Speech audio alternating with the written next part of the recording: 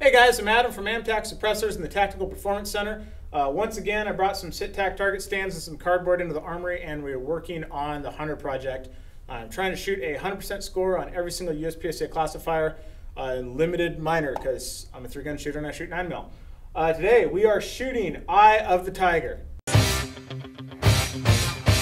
I figure I'm probably not going to shoot all alphas on this one. It is a 21 foot head box. Uh, that little A zone's pretty small, and uh, that uh, couple points down there for shooting minor is really going to hurt a lot. Um, this one is really good for me because this is tight shots at a reasonably fast speed. So I think it's going to take a good amount of tries, but I don't think this is entirely outside of my wheelhouse. So we're just going to see how this goes.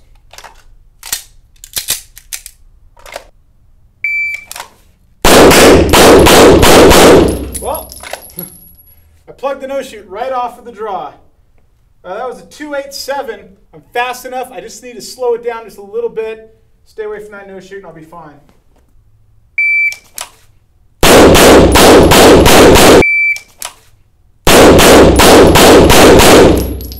Just need to stay off of that first no shoot. You can see there my alphas are just hugging the no shoot. I have all kinds of room in the A zone there still, but I'm just I'm, I'm right on it. I'm just doing a terrible job.